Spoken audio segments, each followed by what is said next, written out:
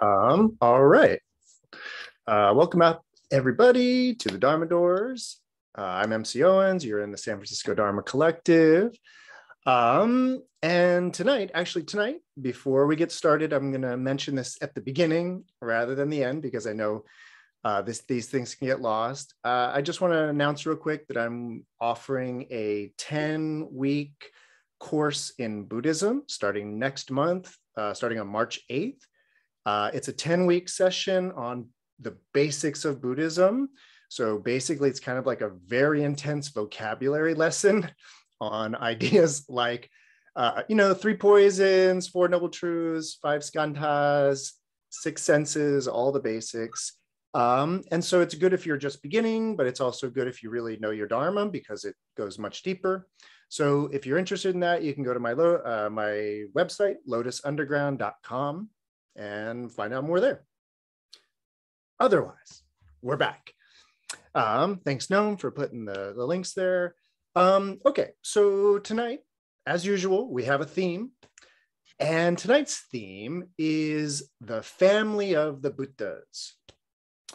So this is an idea that you see a lot in Mahayana Buddhism, but it's also really important to Vajrayana Buddhism as well. So that'll be interesting to see some connections later on tonight about that.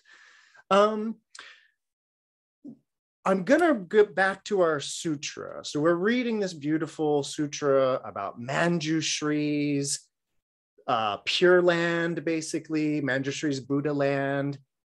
The Bodhisattva Manjushri actually got mentioned briefly last week, but then we, well, what happened was before the Buddha could give his, his big uh, Dharma talk, he decided to invite all these bodhisattvas from all of these different regions, all these different Buddha realms. And so the Buddha told us, or actually, I should say, the sutra, the sutra told us that the Buddha emitted this light from his body that then went in all these different directions. And then bodhisattvas in Buddha lands in these various directions saw this light, heard the Buddha's clear voice, and all decided to come here to the Saha world, to this world endurance or enduring.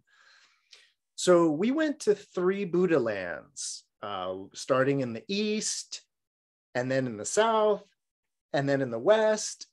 And tonight we're going to visit the Buddha land in the north. It's an equally beautiful section like the other ones were, so I'm really looking forward to reading it. But before we can do that, we need we we need to be in the right, right frame of mind.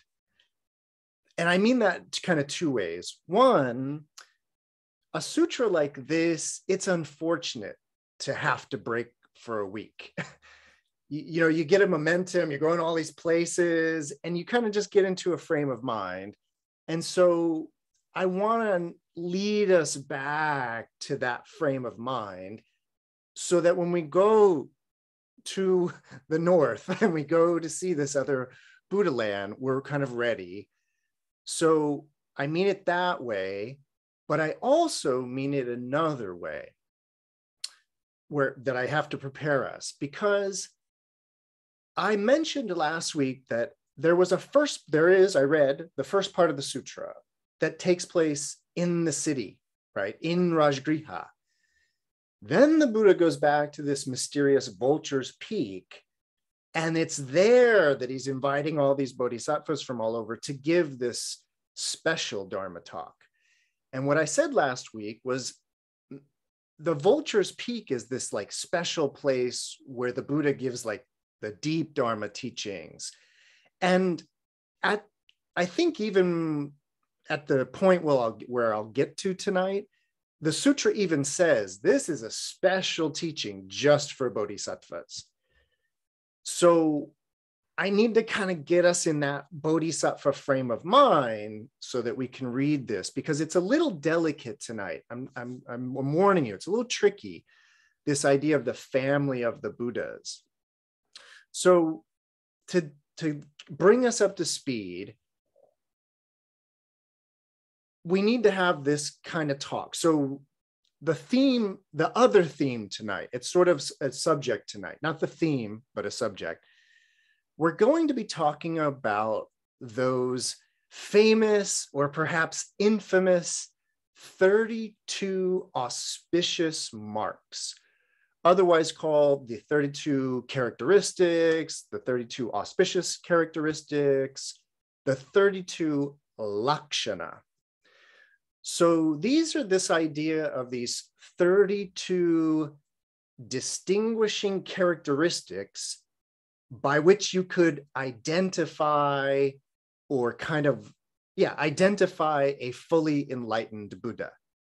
We're going to be talking about these 32 characteristics. But before we can do that and go to the Buddha land where we're going to hear about that, let's talk about characteristics we talk about this almost every Sunday night. I know. And I'm going to even use an example I use almost every Sunday night. But it's just one of those things where, where we need to take these steps to think a certain way. So, in terms of characteristics, and because we're going to be talking about the 32 characteristics, we need to talk about bodily characteristics, physical characteristics. I could, you know, choose different dharmas, different ideas here, and talk about the characteristics of phenomena, characteristics of different of different things. Tonight, though, we're going to focus on bodily characteristics. And I'm going to begin where I always begin. It's the question of am I tall? Like, am I a tall person? And the idea is, is that let me set up a scenario for you. If we were over here and we were in a room and I was towering over everybody else, everybody, and I'm like patting everybody on the head because I'm towering over them. The answer to the question might be, yeah, you are tall. But then I go to this other room that's full of basketball players, NBA basketball players, and I am the shortest person, and they're patting me on the head. All of a sudden, I'm short. But wait a minute, I thought I was tall. I'm going to go back in the other room because I, I like being tall. So the idea is, is that if we just focus for a moment on that idea, is Michael tall or short. We can really quickly come to the understanding that it depends. it depends. and in Buddhism, when we say that something depends, we would say that it's conditional. It's based upon the conditions. In this room, the conditions are such that I am tall. But in this room, the conditions are such that I'm short. So my height is conditional. It's samskrita, as they would say. Let's take another one. Am I smart?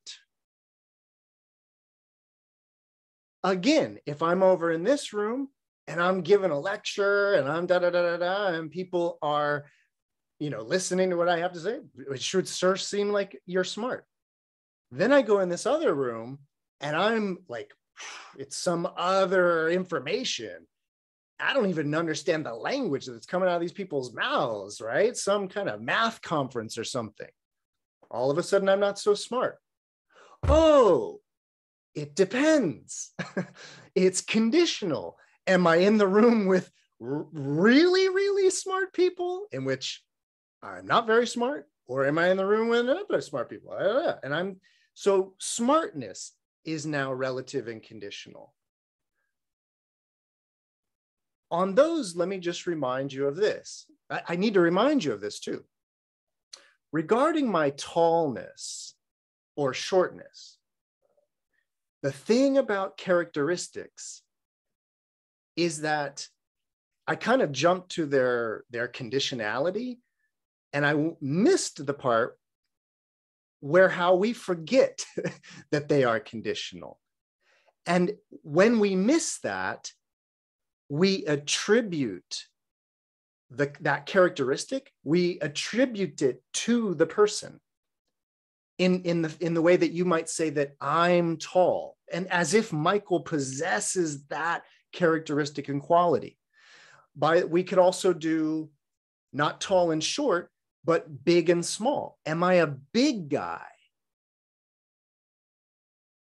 That depends as well, right? Because if it's a bunch of toddlers, I'm the biggest person in the room. But if I get in the room with a, uh, you know, a wrestler, a sumo wrestler, all of a sudden I'm looking pretty skinny in that sense. So, am I a big person? Wow, it depends. Am I tall? Am I smart? The idea is, is that all of these characteristics are conditional and relative, and they only appear to be characteristics or qualities of this in that way. Let me do another one too. This will be kind of a little significant for where this is going tonight. So, one idea would be that I'm Californian. So, that's another characteristic. Now, you might pick up on that by the way I speak, certain uh, uh, uh, language things that give it away, you know, whatever it is, or you might just, you know, check my uh, identification. I got a, a California driver's license, right? So I'm Californian. But what's interesting about that is, of course, what does it mean to be a Californian? Does it mean to be born here? What if you immigrate and you just reside here? What if you're actually just in California right now? You know, something interesting, you know, you might not know about like Japanese culture. Japanese culture is pretty hardcore when it comes to who's Japanese or not. In Japan, it's much more than just being born in Japan. There's levels to being Japanese that go back generations. And it's somewhere around five generations where you can really call yourself Japanese. So it's not even about you being born in Japan, your parents being born in Japan, or your parents' parents being born in Japan to be really Japanese. But once again, who is to say in that regard? The person who goes back five generations, the person that only was born there, the person that emigrated, or the person who's just currently in Japan, currently in California. The point is is that you might want to say that something like being californian is just built it's built in. Like okay michael you got me on the tallness you got me on the big and sh- short but being a californian is just sort of like like you kind of either are or you aren't right or does it depend again and so, once again, I could claim to be a Californian, but then somebody whose family goes back many generations on this land might be looking at me and saying, You're not a Californian, you're a European. You're of European descent, white boy. You're from that land. So it depends. It depends on how I think of myself in that regard, how others think of me. But the point is, is I can think of myself as tall. Am I? I could think of myself as smart. Am I? These are definitely rhetorical questions in, in, that, in that sense. So let's go a little further. So, because of the topic tonight, I want to talk about some other characteristics that'll be relevant. And those are the characteristics that, because of certain other characteristics, I don't know, hairiness in that way or whatever, you might think I'm male. And that's another one of those things that it would really seem as if that was not, that it was, uh, what, what would be the word? Inalienable. So we have this great word in English, inalienable, unseparatable. So we would think that my maleness in that sense is just, just, you know, now I know especially in the 21st century, we're very wise to know that these things are not like that. But for the general audience there that might not have gotten the memo about those things, the idea is, is that, and this is, I wanted to choose, or again, because of where the sutra is going, I wanted to talk about the idea of being perceived as a tall, California, male Californian, right? Or, a, you know, whatever the, some other characteristics might be. But when we get to talking about maleness, what's interesting about being conceived of or thought of as male or female in that sense is that actually each of those, male and female, are actually kind of a assortment of characteristics, right? Because it's sort of about, oh, if you have a deep voice and you're hairy and you have these other physical characteristics and you have this characteristic and that character. Well, wait a minute. Which are the essential ones here to being, you know, a male or a female? Do you have to have long hair to be a female? I have long hair. The idea here is, is that a concept or an idea, a, a demarcator like male or female, those again are these kind of like a, a, mass, they're masses of characteristics. If you know what I mean, that it that we make the determination that somebody would be male or female, not just on the length of their hair, not just on the tone of their voice, not just on the hairiness of their face, not just on this, not just on that, not, but it's an assortment that we would eventually sort of say, you know what?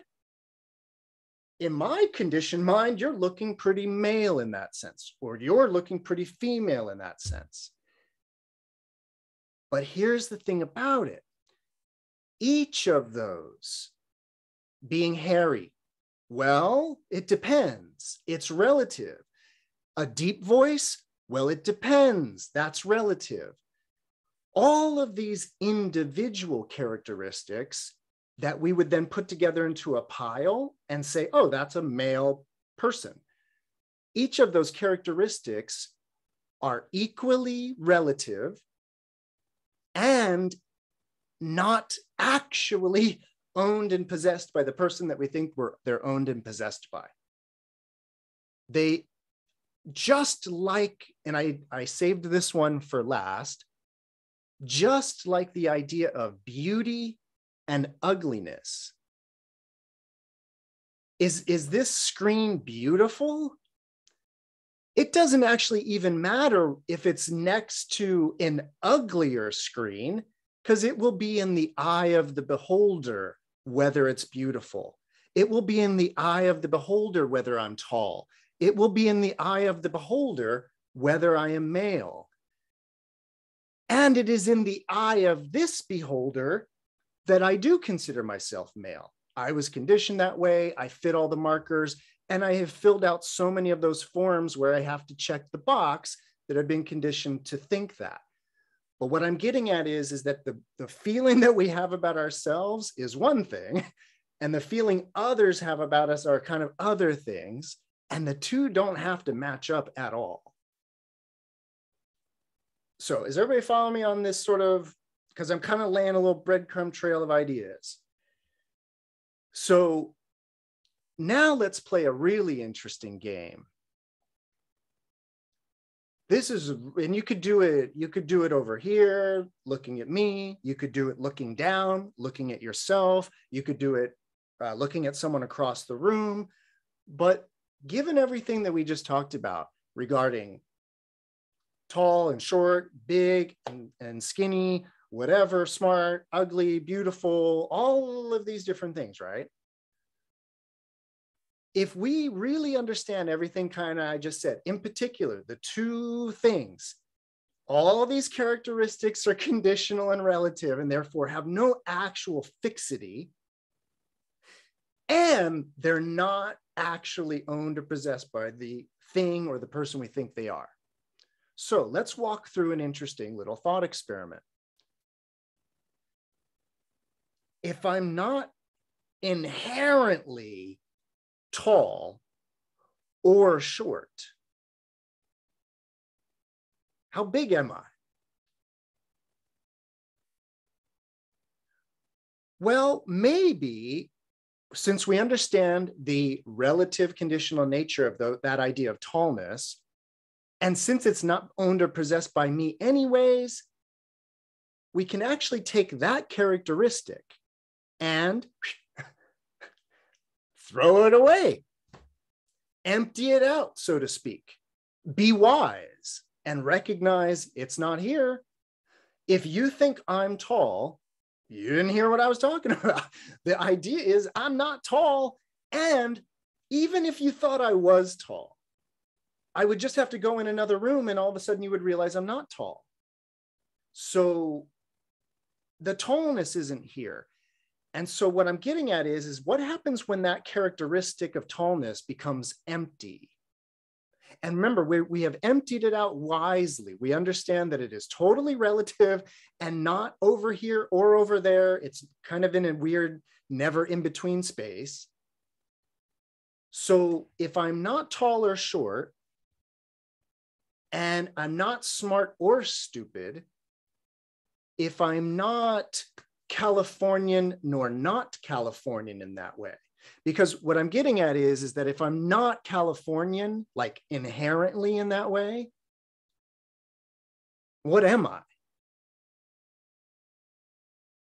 You, you know uh, er, uh, oh i'm uh, uh what do they what do we call them earthling. Oh that's an, that's relative again isn't it? That's one of those other relative things that's relative to earth relative to mars so if you keep going with me on this, and again, you can do it towards yourself, and then you get to these deeper ones, like the idea of being or identifying as male or female, and realizing that those are not really like that. What I'm getting at is, is that what happens when you wisely, through the understanding of emptiness and all that, actually remove all of human Human is relative to animal, vegetable, and mineral. So, not human, not male, not smart, not stupid, not tall, not this, not that. If, if you're following along, right, you, you might be wondering then what, what am I if free of all of that? And you might be thinking of it, asking that of me, or you might be asking it of yourself which is to say you're doing the exercise I'm encouraging you to do, and then asking yourself, well, what am I then? What is this then? Everybody with me. Next up. So I want to just put that the characteristics, all characteristics are kind of empty in that way. Let's just put that right over here for a second we're going to come back to it immediately, but we I want to talk about one other idea. An idea that's also relative to the sutra, relative to this idea that's right over there, the emptiness of characteristics. I want to talk about identity. So this is about, and I've, I've already kind of hinted at it, but now this is about the idea of identifying as Californian. So no longer being perceived as that, but identifying as that. And when I say identify, I mean I am a Californian, like owning that as an identity, as part of your identity. So one Dharma talk that I give a lot is about the nature of the Bodhisattva, this creature, this sattva. Because remember, sattva means a, a, a creature, a being, but not just any creature or being, a creature or a being of bodhi, of awakening, of enlightenment, a bodhisattva. So one of the Dharma talks I give to try to kind of articulate or explain what, what is a bodhisattva? Well, the, in terms of the construction of identity, construction of the notion of a self, there are many different aspects to a self. I'm going to mention some. These are not requisites to a self, of course, but they're part of many identities. So, one, of course, is this idea of identifying with a body, which is to say that I, Michael, for example, identify with this physical body.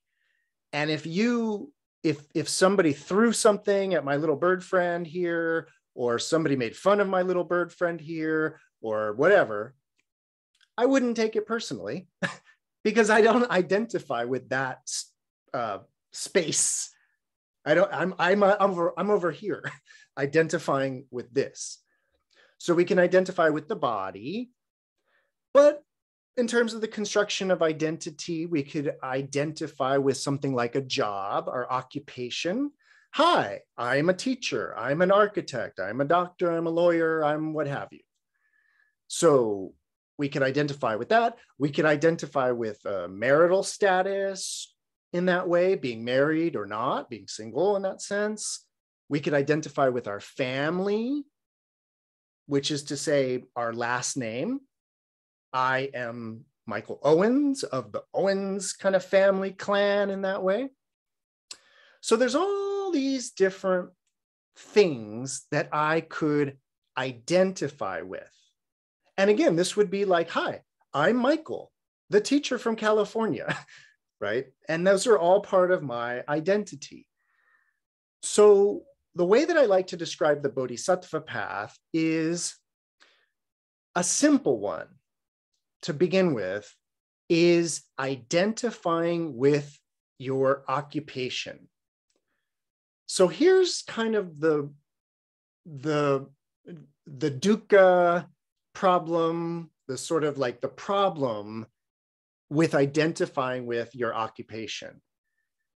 The idea is is like let's say i identified with being an architect and i get i go to school because i identify i want to be an architect. I get my degree it's official. I'm an architect. I get a job i'm an architect. But then something happens and i lose my job as an architect.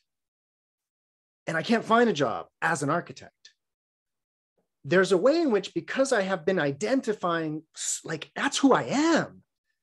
There's a way in which when i lose that position i lose my identity. And there's dukkha that can arise from that attachment to identity that way. Likewise i could identify as a husband. And then if that changes go through a divorce or something like that i could suffer because of uh, identifying as a husband and when that's challenged and that's removed, I, there's an actual existential crisis where my identity is now shook. So the thing about it is, is that from the Buddhist point of view here, these identifications, they're problematic and tricky for a few reasons. One is the basic reason I just gave you, which is that if we're too attached and committed to that identity, we put ourselves at risk in that sense because that can be taken away in that way. So that's the first part of the identity problem is that you could get fired or whatever, whatever. But there's kind of a deeper problem with it, which is that pile of empty characteristics we just got done talking about which is that if I'm identifying with that, I'm actually identifying with one like a, it's empty. I'm not, I'm never actually an architect. I could think of myself that way and I could think others are, or hope others are thinking me, of me that way. But the first lesson I gave about the emptiness of characteristics is to point out how if we're attached to those things as that, we're attached to kind of fictions in a way in that sense relative, conditional, dependent fictions.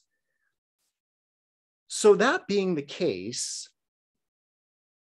it's like this I could go from identifying as a husband But then if something happens and I go through a divorce, well, I better get busy identifying as a single person.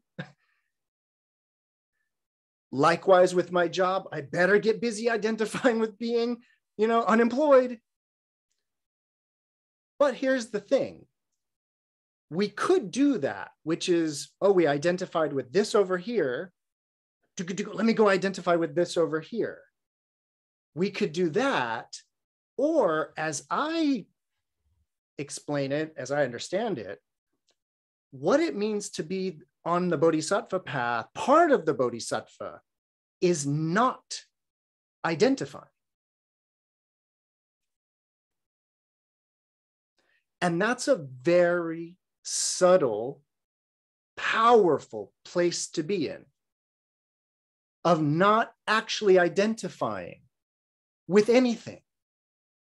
And what I mean by powerful is that if you're not identified with your occupation and you get fired, you weren't locked into that as your identity. So the transition to some new thing to do is going to be a lot easier if you weren't hung up on that. Likewise, all of these different things that we become sort of clinging and attached to, a big part, if, if not the entirety of the Bodhisattva path, is just about not replacing this with that, but actually doing a third move, so to speak, of not identifying. Tanya. Yeah, I mean, so would you say that like basically a bodhisattva is just like super good at just seeing the emptiness and everything? Um, and like things still arise. It's not that they're not there. It's just that the bodhisattva recognizes pretty much in everything the um, insubstantial and constructed nature of it from our concept concepts. And then like, would you say like does no but does a bodhisattva like sort of do they still have like a relative self and then like their absolute self you know because i've heard people talk about how hmm. you know the the um the self as a construct is useful right in your daily life but you can still have it being useful in your daily life and yet see it as empty you know as just a construct um, so that you hold everything lightly so does the do you think the bodhisattva does something like that too? Well, I can only speak for myself in that sense, but I will tell you that holding it gently idea, I would say that's what I mean by being an architect, but not identifying as an architect. That's the holding it gently. The, it's the clinging. It's a very important point. It's actually very important because the idea is is that there's sort of well yeah i don't want to say too much because i want to get to the sutra i want to talk about this but i was just going to say that it, it has to do with that idea of if you don't identify with this there is going to be a temptation then to identify as that or with that and the holding it gently is actually not doing that now, I want to remind you too of another. Um, is that good, Tanya? You feeling? Yeah, yeah. Seriously, so it's essentially just like holding nothing. Well, it's more. Yeah, yeah, yeah. I mean, I'm saying if you're a bodhisattva, like you're of just course. really like, you know.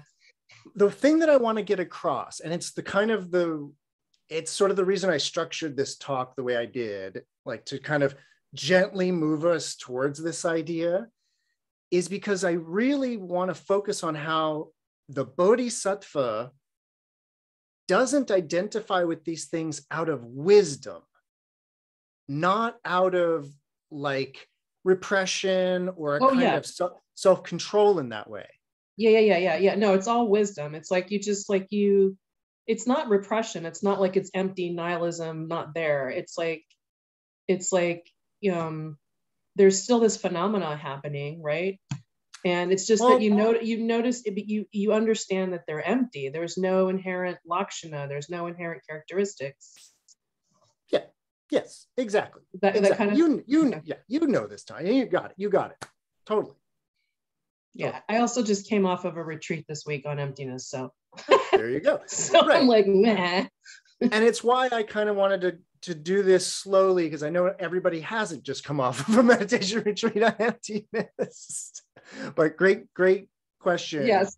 Sorry, it's just like no, no. Anyway. Thanks, Everybody Michael. else feeling okay about what's what we're talking about, what's going on? Okay. So that brings me to sort of the theme of tonight and now to the sutra. So I kind of dangled it out there, um, but I didn't say much about it. And that was the one about identifying with one's family, which is to say that I, you know, again, speaking only for myself, I think of myself as the child of my parents, not yours. I do not identify as your parents' child. I identify as those two people's child in that way. So that's part of my identity. It's something that is a tricky one that I, I want to talk about again because of where this is going.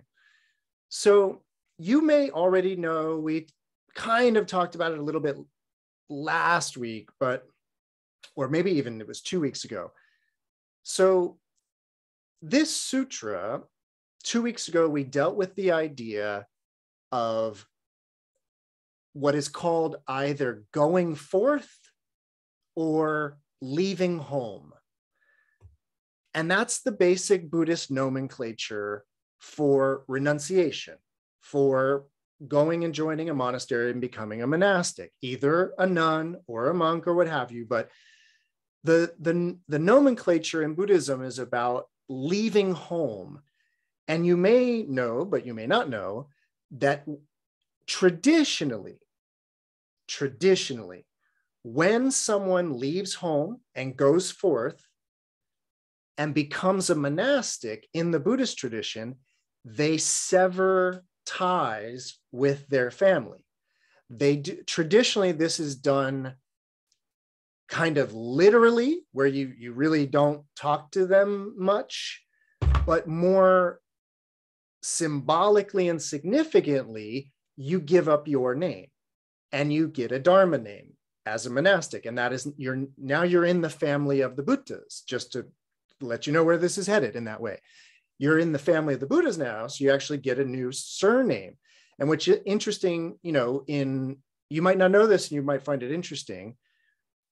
Throughout all of, well, I shouldn't say all of it, but you know what I mean. For the majority of Chinese Buddhism today and forever, all the different schools, all the different sects, all monastics you know, in, in Chinese, names are three characters the family name, like Li, and then a personal name, Li De Yu, or, you know, uh, Ming Jiao Zi. So you get a family name, two characters that are your personal name. In Asian countries, Japan included, when people go forth and renounce, they get a new name and the first character of that name is shi and then it's shi something something. And the shi is from the chinese word Moni or shakyamuni. So you literally take on this character as your family name which is the name shakyamuni which is the shakyamuni family. So that's a sim again a symbolic gesture of this severing ties with the family and kind of taking on a new family. Pretty standard for renunciation in most traditions. Uh, a lot of traditions where you renounce, you sever ties with your family and you take on a new name as a symbol of that.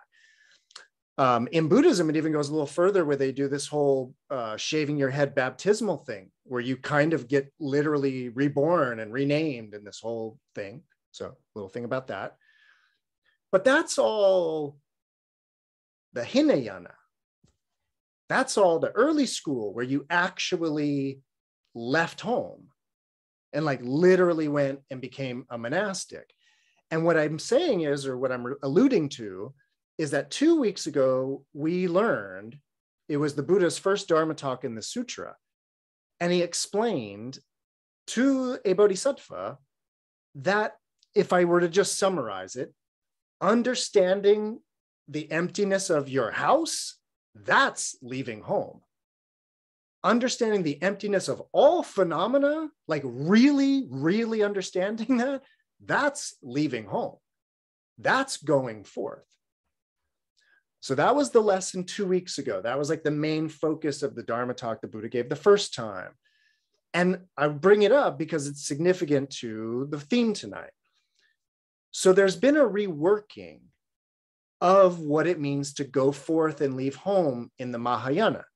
And it's what allows, and not just allows, I kind of want to like knock that way of thinking even out of myself because it's really profound that the Mahayana says, you know, you don't have to like go live in a cave to get enlightened. If you understand the emptiness of your own house in that way and are not attached to it in that way, that's leaving home. And this is where you get householder bodhisattvas. And it's not a, uh, a cop out.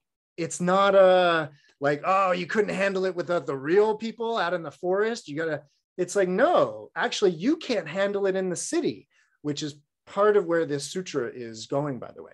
So, okay, so we already learned about that. And so tonight, what we're about to get is in the Mahayana Buddhist tradition, what does it mean to become part of the family of the Buddhas, part of this new family?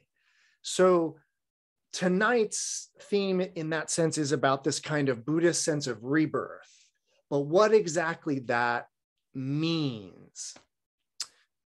So, on that note, I think I'm ready to do the sutra.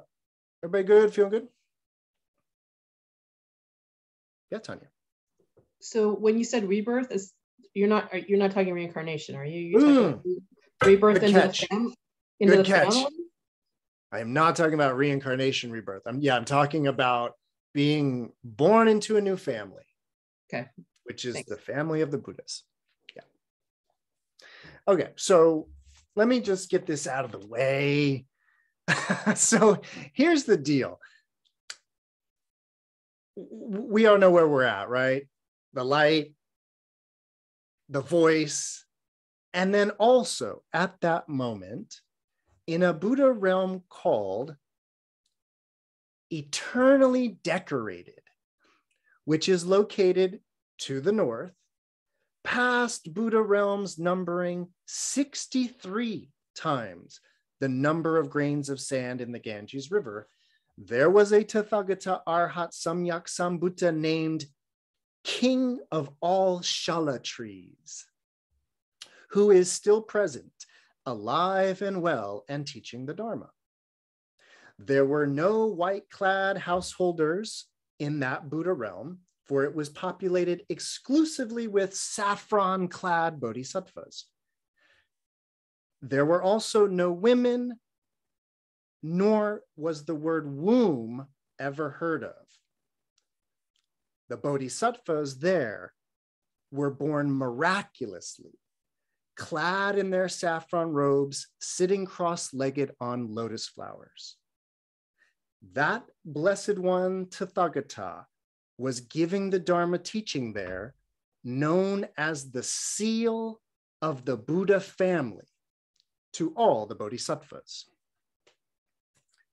Okay, so I want to address something that you heard. In this Buddha land to the north, it says there were no women, nor was the word womb even heard of. This is something that you find every now and then, which is this idea that in certain Buddha lands, there's no women. And I got to tell you, for the longest time, that idea bothered me. It doesn't sound right. It sounds like, what? Wait, what are we talking about? What are we doing?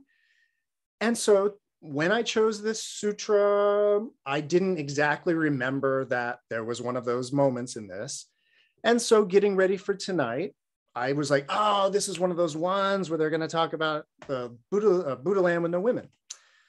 But then looking at it deeper and going and checking on the Chinese just to make sure I've got all the information I have, something very conspicuous pops out.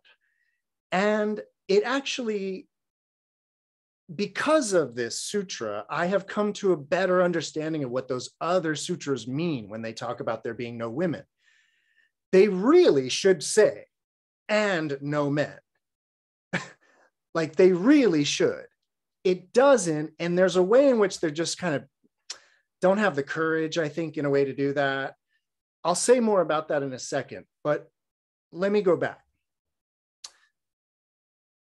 When you read, especially the Chinese, and I got to tell you, the Chinese version of this sutra and the Chinese version of most sutras for, is far more gender neutral. It's why I prefer translating from Chinese than the Sanskrit. They're more it, the, the chinese language first of all allows for much more discourse that's gender neutral where you can just talk generally without having to specify. But then you get to a situation like this where they have specified.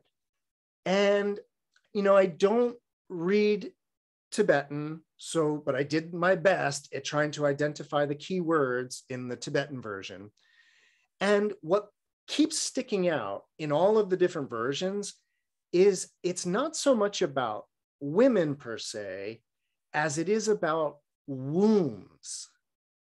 It's why there's that line it says about how the word womb wasn't even heard of. Now, the reason why they're talking about this is because these bodhisattvas in that Buddha land are miraculously born on lotus flowers. There's there i was saying i was saying earlier to somebody getting ready for this this sutra it really should say and in that buddha land there were no maternity wards it's what it wants to say.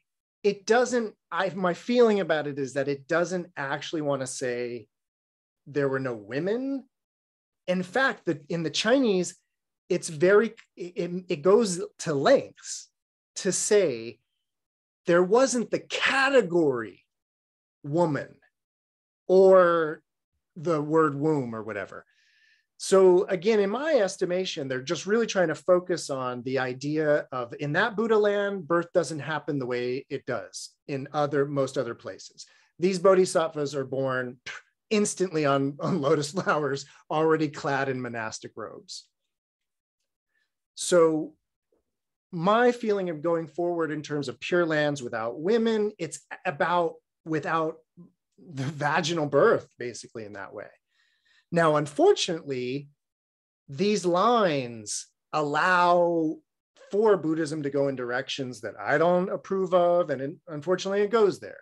So hopefully, I can set the record straight a little bit and you know move it in a different direction. So, everybody okay with that going forward? No. Um, I, I like that charitable, slightly more charitable interpretation. I hope it's doing my best. yeah, I appreciate you. You always trying to make sure that we're careful with how we uh, talk about gender. But I'm wondering what the significance of that is, if anything. Or are you going to talk about that? Like that's the Dharma talk. That's the Dharma talk. Oh, that's the Dharma talk. Okay. Oh, absolutely. In fact, I I would have just glossed over the line. Yeah. That would have been my great upaya tonight, yeah. would have been just not to read it. Yeah. And just moved right along if it weren't actually significant to the suit, like the the point. So thank you. Yeah. Yeah, yeah. And it's a be- beautiful, beautiful sutra. Um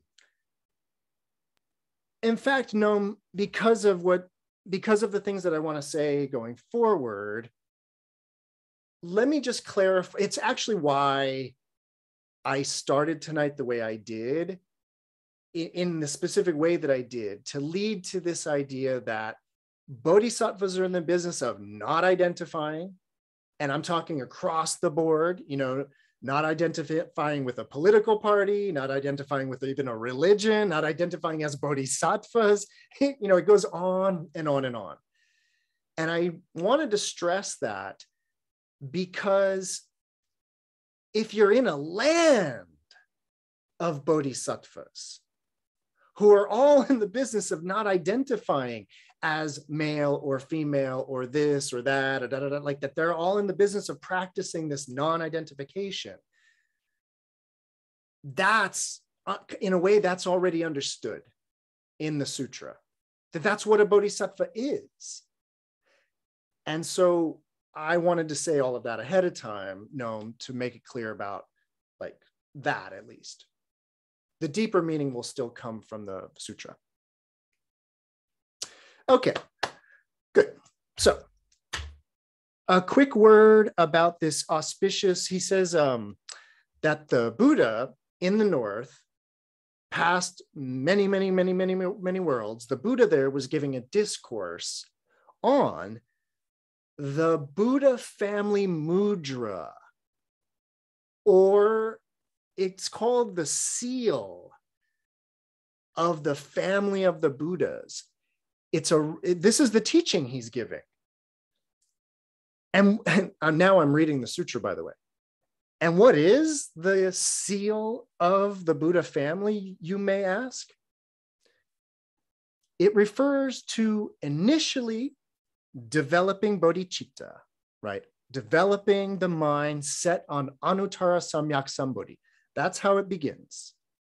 And subsequently, the perfecting of all the bodhisattva teachings, engaging with the bodhisattva pitaka, the bodhisattva basket, studying the main subject of dharanis, those mnemonic devices I've mentioned, being undistracted, practicing giving,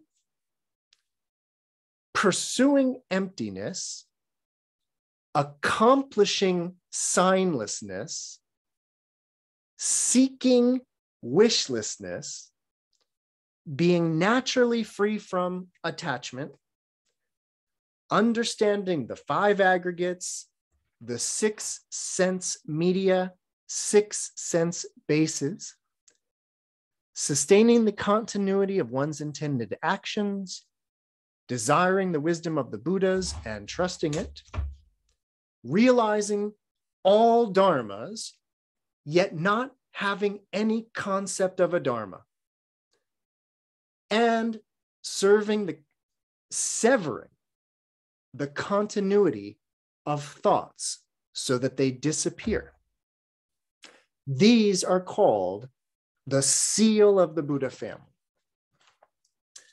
So, okay, quick few words on the seal of the Buddha family teaching, because I do want to read the, the rest of it because it's it would have been a waste to say all of this without reading the end of it. Those teachings right there, the idea of like this teaching of the being in the family of the Buddha and having the seal of being in the family of the Buddhas, so it begins with generating the aspiration for Anuttara Samyak Sambodhi. I did a whole night on that. So that should be understandable. Perfecting the Bodhisattva trainings or the Bodhisattva practices, those are traditionally understood to be the paramitas. So engaging with the Bodhisattva Pitaka is an interesting uh, line there is a large sutra that's part of the Maharatnakuta collection from which this sutra comes. So this is the 15th sutra in this collection that we're reading. The 12th in this collection is called the Bodhisattva Pitaka, the Bodhisattva basket. It appears to be the oldest sutra in this collection, and this might be a reference to that. The Bodhisattva Pitaka has not been translated into English, unfortunately. Um, so hopefully that'll happen one day. Studying Dharanis, mnemonic devices. I would love to talk a lot about those, but I'm not. But they are these interesting mnemonic devices of bodhisattvas, have a lot to do with kind of lists understanding certain lists that if you know them, they can unlock other lists in a way. So that's sort of the idea of mnemonics. Being undistracted. mindfulness, sati, great. Practicing giving, we know all about that. That's definitely part of the Bodhisattva path. Then we get to the three that I wanted to actually speak on. It says that this seal of the family of the Buddhas, it's about bodhisattvas pursuing emptiness, accomplishing signlessness, and seeking wishlessness. So those are called the three doors of liberation. They are these bodhisattva, very Mahayana ideas. Emptiness, I've already spoken at length about at the beginning of tonight. So we were talking about the emptiness of different things because of their conditional relative nature. They are therefore empty in that way. It's funny, and it's meant to be funny, by the way, that it says pursuing emptiness. I say that that's supposed to be funny because the next of these, accomplishing signlessness, is a funny turn of phrase. So, signlessness is what I was describing at the opening of the talk. When I was talking about if I'm not tall and I'm not short and I'm not male or female and I'm not this and I'm not that, if I'm not any of those, then the idea is, is that if you arrive at if you arrive at an understanding of what I am, sans characteristics, without characteristics, that's called signlessness, characteristiclessness. Animitta is the technical term. So, this signlessness is what I was describing. And what I mean is, and you can really just, just work with the tall, short one. You because they they are all functioning like that.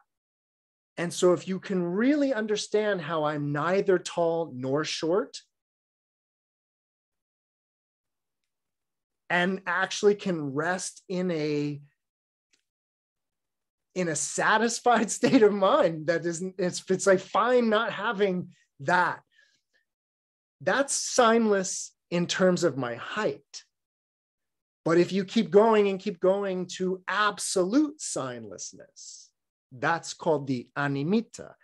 And when it says accomplishing signlessness, it's actually a funny reference to these 32 characteristics that are about to get mentioned because the idea is is that when you transcend through wisdom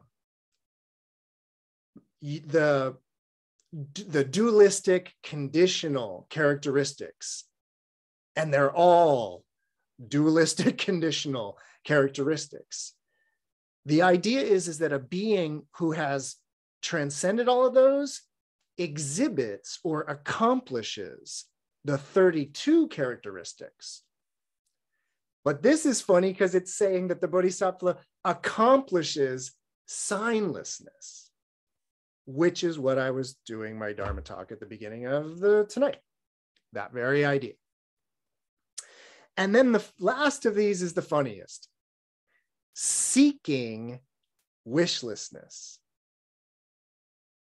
Wishlessness is the idea of wanting, wanting this to go this way, wanting this, you know, wanting the Bengals to win the Super Bowl. That's a wish, that's a desire. Now, regarding the Super Bowl, I was totally on a pranihita. I was totally wishless this year. I really, I was good on that. I had a lot of other things I was invested in and not, uh, not accomplishing wishlessness so well. But on that one, I got it. My point is, is that the state of actually not having any wishes in that way is this state of pranihita. And so it's funny to talk about seeking wishlessness. Bodhisattvas are also being naturally free from attachment. I spoke about attachment earlier too, also part of that. And then the Bodhisattva understands the five aggregates, the six sense organs, and the six sense objects. Okay, I'm gonna just end there because I did want to get to the uh, end. So, everybody ready for the the fun?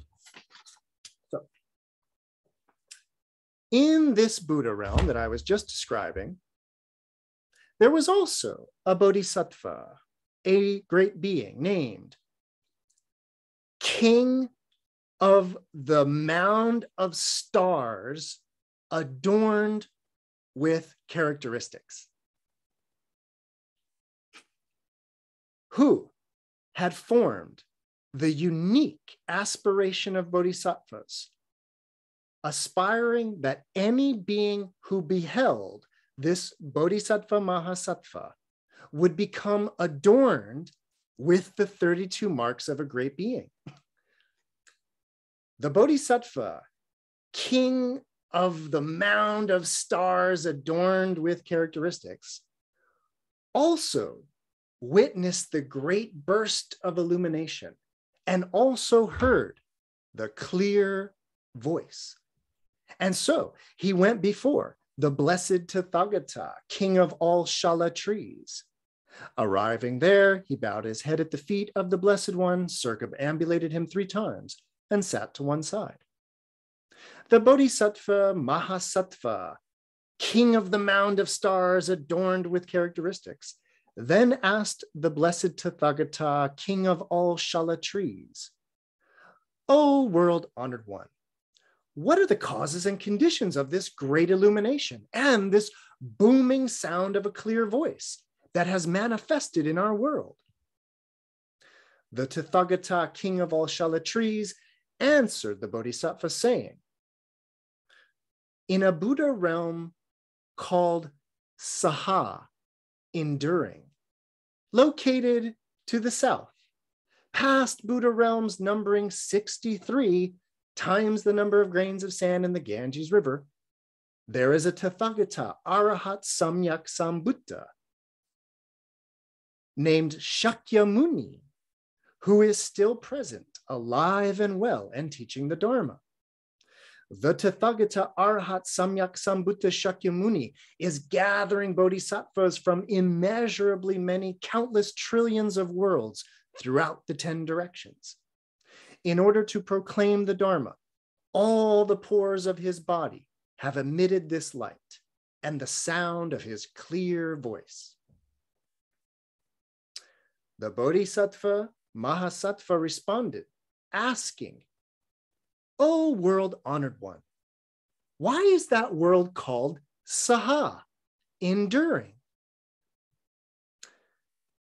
The world honored one answered, saying, Because the beings in that world endure in their greedy attachment, endure in their angry aggression, and endure in their deluded ignorance. And endure in their suffering. Therefore, the world is called Saha, enduring. World honored one, the Bodhisattva replied. Is there anyone there who is not engaged in abuse and ridicule, intimidation, and violence? Are there any who have dispelled the attitudes of greed, anger, and delusion? Noble one, the beings in that world who have such qualities as that are few. Most beings there are malicious, hostile, and aggressive. They're all caught up in greed, anger, and delusion. World honored one, the Bodhisattva replied. This name, Saha, enduring, it doesn't seem appropriate as long as it's possible for those beings to become patient, to have kshanti. Then, world honored one, just because they are so impatient at present, it's not appropriate to call it enduring. Noble one, the Buddha said, in that Buddha realm, there are noble sons and noble daughters who follow the Bodhisattva Yana, the Bodhisattva vehicle, who attend to the Buddhas of the past, develop their roots of virtue, have served many hundreds of thousands of Buddhas, and have kshanti. They are patient, disciplined, and gentle. Even if they were ridiculed, intimidated, or attacked with weapons by all beings, they would endure and not be overcome by greed, anger, and delusion. Noble one, the world is named Saha, enduring, after those sublime beings.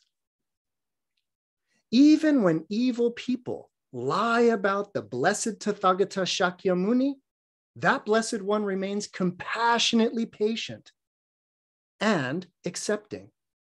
The same applies to those who are filled with hate and rage, who are sinking into the hell realms, who make the lower realms their domain, and who fail to respect the Buddha, the Dharma, and the Sangha, as well as all the degenerate beings who delight in jealousy and who ridicule and slander the Blessed One, doing him harm by insulting him. With a mind that is broad like the earth, Shakyamuni is without attachment and anger. Thus, even when people honor him, he does not become self important. And if they fail to honor him, doesn't bother him either. Even if people ridicule and scold him, he does not think about it or conceptualize it, and he remains unfazed. He does not become disturbed, agitated, or saddened by it. Therefore, that world is called Saha, enduring. The Bodhisattva Mahasattva, king of the mound of stars adorned with characteristics, remarked to the Tathagata, king of all Shala trees, world honored one, I am very fortunate that I was not born among such degenerate beings in that world. The world honored one replied, Noble one, you must not say that. Why? In the northeastern direction from here, there is a world called a thousandfold adornments. In that Buddha realm, the Tathagata Arhat Samyak Sambuddha, King Maheshvara, is still present, alive and well. The beings in that Buddha realm are extremely happy. The happiness of those beings, it's equivalent to the bliss experienced by a meditator absorbed in nirvana. Noble one, compared to spending billions of years practicing pure conduct in that world thousandfold adornments, you would generate far greater merit by arousing for just an instant a loving attitude for all the beings in the Saha world. That being so, what need we say of those living purely day by day within it?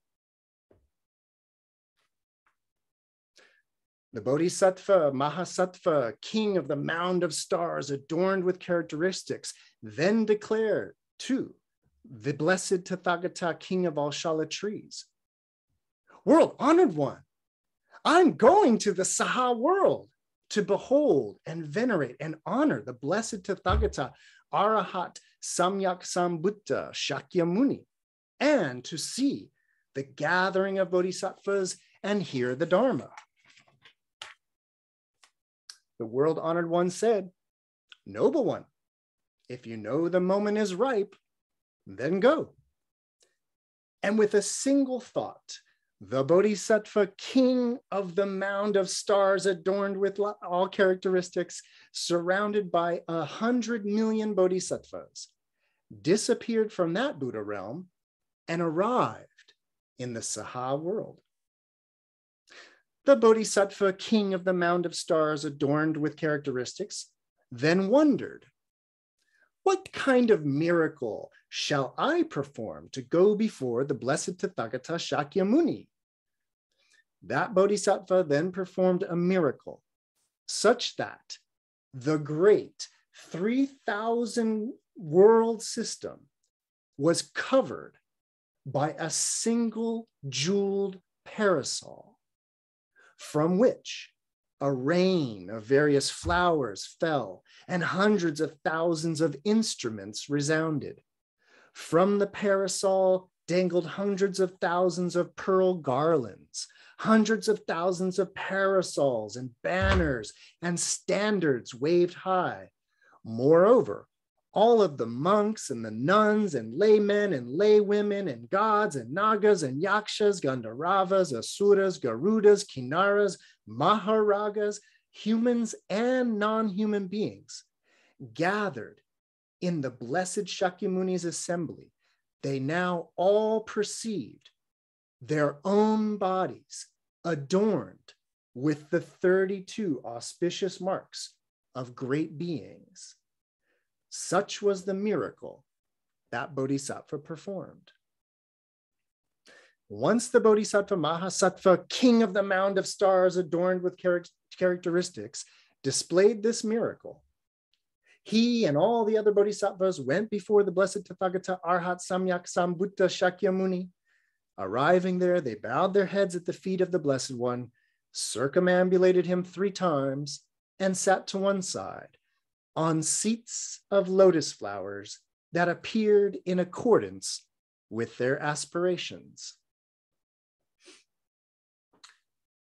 In the same way, immeasurably many, countless bodhisattvas, those great beings, in immeasurably many, countless trillions of worlds throughout the 10 directions, also witnessed the great burst of illumination and heard the clear voice, whereupon they also inquired to their respective Tathagatas about it, and all arriving in the Saha world, they bowed their heads at the feet of the blessed Tathagata Arhat Samyak Sambuddha Shakyamuni sat, circumambulated him three times, and sat to one side. All the gods, the Nagas, the Yakshas, Gandharvas, Asuras, Garudas, Kinnaras, and Mahoragas in this 3,000 great thousand world system, as well as Shakra, Devanam, Indra, Brahma, the four great heavenly kings who protect the world, and all other splendorous gods likewise witnessed the great burst of illumination and heard the clear voice. They also went before the blessed Tathagata Shakyamuni. Arriving there, they all bowed their heads at the feet of the Blessed One, circumambulated him three times, and sat to one side. At this point, the world honored one, the Buddha, performed a miracle such that all the immeasurably many countless bodhisattvas gathered from immeasurably many countless trillions of worlds throughout the 10 directions all perceived the arrays of virtues of their own Buddha realms identically present in this Saha world with nothing missing whatsoever. Then, in the perception of all the bodhisattvas, the body of the Tathagata, Shakyamuni, became the exact shape and size as the Buddha of their Buddha land. Each bodhisattva also perceived the abundance of bodhisattvas, the abundance of great voice hearers, and all of the riches and enjoyments of their respective Buddha lands to be present here, so that they each had the sense that they were actually in their own Buddha realm. Such was the miracle the Buddha performed. Okay, I'm going to pause there. Are you feeling okay? Everybody excited to be in the Saha world now? So I hope you picked up on that, of course, that idea that we saw last week that there's I'm I'm beginning to feel like this is my favorite Pure Land Sutra because it's really kind of making clear this idea of what a pure land is in that way. And what I mean is, is you know, I did all this talking tonight about relativity and that idea. And it's kind of about that reframing of one's experience, frankly, right? So hope you all liked that. There's just one little poem that I probably should read because that'll bring us right to the end of this section. But I just wanted to make sure to address any questions or ideas. Cool. So this is just um, when when the bodhisattva. Oh, actually, yeah, this is a little bit of a new new piece of information. So when the bodhisattva Mahasattva Maitreya saw the vast bodhisattva assembly, he rose, draped his shawl over one shoulder, knelt with his right knee on the ground, and with his palms joined together, bowed toward the world honored one, and spoke in verse. Renowned in all directions, your mind is boundless, and the world and its gods appear vividly before you. All beings together could not fathom your mind.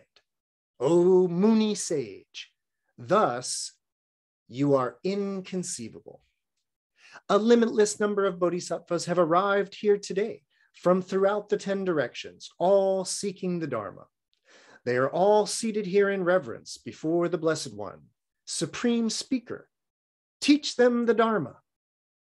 Your speech resounds in all 10 directions without exception. With a mind of discipline, diligence, and meditative absorption, you are as fearless as a lion. You are as beautiful as the sun shining in the sky. Gods, Nagas, Asuras, Ganyukas, male and female, lay practitioners, monks and nuns alike, are all seated here with palms joined respectfully. O Blessed One, who desires their benefit, please teach us the Dharma. You know the past and the future, and you also know the present with total certainty you see the inclinations of embodied beings. So please teach the Dharma that dispels all doubt. O sage, how must bodhisattvas practice to obtain pure and immaculate Buddha lands? How do they achieve the fulfillment of their aspiration? O guide, please teach us these things immediately how can? How can we be unstained by stinginess?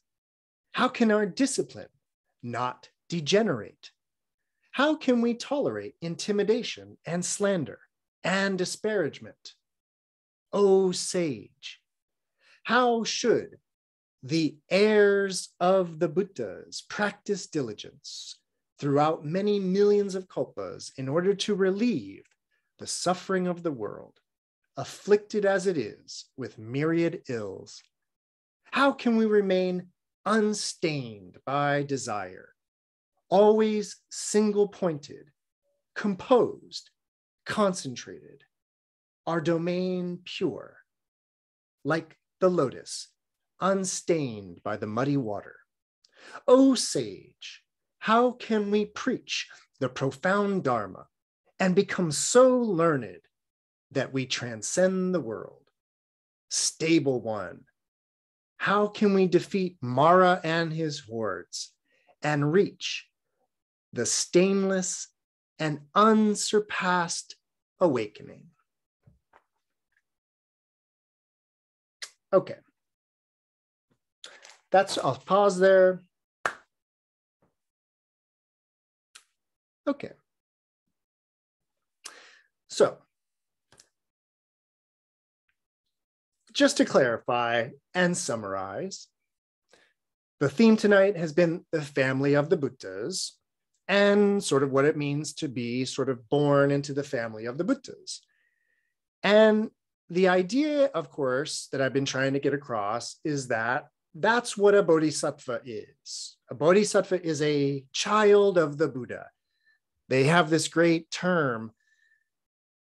The term is a Buddha Putra. So Putra means child, and then a Buddha Putra is a child of the Buddha. I know that in the Tibetan, the what I've been reading is from the Tibetan, and they translate a certain term. It's it's where the Buddha says to the uh, the Bodhisattva, uh, noble one or noble son. I'm I understand in in the Tibetan why they would translate it as noble as Arya. It's about the the language of Arya, but the idea is is that in the Chinese what the Buddha usually refers to the bodhisattvas as is not worthy one or, or honored one or noble one in that way. The Buddha is always referring to them as Buddha Putra. Oh, child, child of the Buddha or children of the Buddha. And so, yeah, tonight I just kind of wanted to make it clear kind of what that means. And I guess I did mention it, and I have a couple of minutes to spare. So, about the Vajrayana, I mentioned at the beginning that this way of thinking, which is to say, like the family of the Buddhas and sort of being reborn kind of in the family of the Buddhas, that's a very, that idea, which we have here in its very classic Mahayana form. But that idea becomes a much more developed idea in Vajrayana.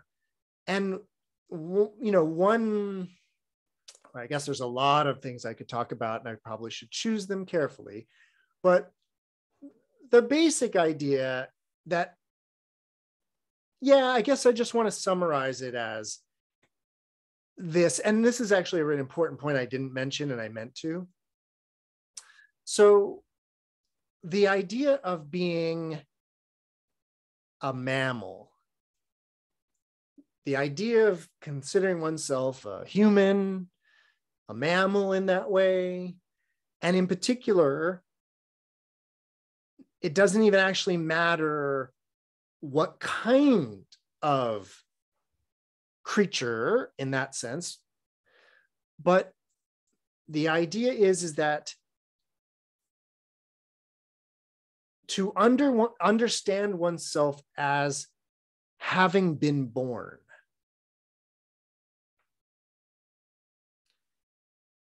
So the thing about it is, is that there's a, a, an aspect of that construction of the identity of self is the idea of, of having been born. And then, of course, that goes to, or well, it can go then to this relationship to one's mother as one's um, birther I, in that sense. So the thing about that, and we I've talked about this a lot, so I just want to kind of make this quick, but in the realm of all of these characteristics I've been talking about. In the realm of characteristics like being tall or being short or being this or being that, there's the characteristic of having been born, of being a birth thing. Now, a good Dharma student can take a quick analysis and understand very clearly that this is not what came out of my mother's womb. This could not fit, frankly. My point is, is that when we ident- identify with the birthed, with that which was born, and we do this when we celebrate our birthday, we do this with the idea of how old we are. We do this. And what I want to do is sort of, you know, without rehashing the entire Dharma talk tonight, I just want to highlight the characteristic of being born. And what I want to point at is not so much the empty nature of that characteristic, because remember, if it's a characteristic, it's relative, it's conditional. And of course, being born is as relative and conditional as it gets. But in particular, what I'm interested in pointing at is how there's a, how can I put this bluntly, right? There's a way in which we herald our death with every celebration of a birthday. You, you keep reminding yourself, and, and I don't just mean it as a reminder, you keep identifying with the birth. And what you get with that is the other end of that spectrum. And the reason why Buddhism, even in the earliest days, not even Mahayana, but the earliest days, Buddhism was called the teaching of the deathless. And it, what it was about is, is that you avoid death when you don't identify with the birth. But again, we don't do this out of blind ignorance and repression, where it's like, like, all right, I'm just going to forget about my parents. I'm just going to forget about my parents and I'm just going to like try to forget about that. It's not about repressing memories and all of that. It's about actually understanding that this was not the birth. And so you can continue to identify with the infant, but it's not this. And so the real liberation from the perils of death come when you're not identifying with the, the, the body that will die in that way. And there are traditions that are designed to bring you to a more transcendent identity. There are traditions that are very, very well established where they can lead you from identifying with this to identifying with the totality of all things, to identifying with God. And that will change your life if you no longer identify with the physical body, but identify with, say, God or whatever, but that's still a, an identity. This bodhisattva path of not identifying, it can only be described as a practice. It is an ever unfolding practice of being like, oh, I was identifying with that again. And it was leading to suffering again. Darn and realizing it, oh, I'm doing it again. So again, it's a practice in that way. So that's it. Oh, sorry, Tanya, you did have your hand, please.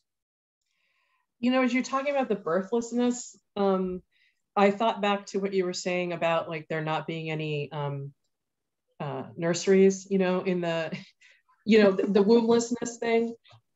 Um, and I was just wondering, do you think maybe that's also sort of pointing to birthlessness? Because I mean, they just, you know, Tanya's down there. Yes. oh, sorry. but um, I did yeah. the thumbs down, but I was pointing at you.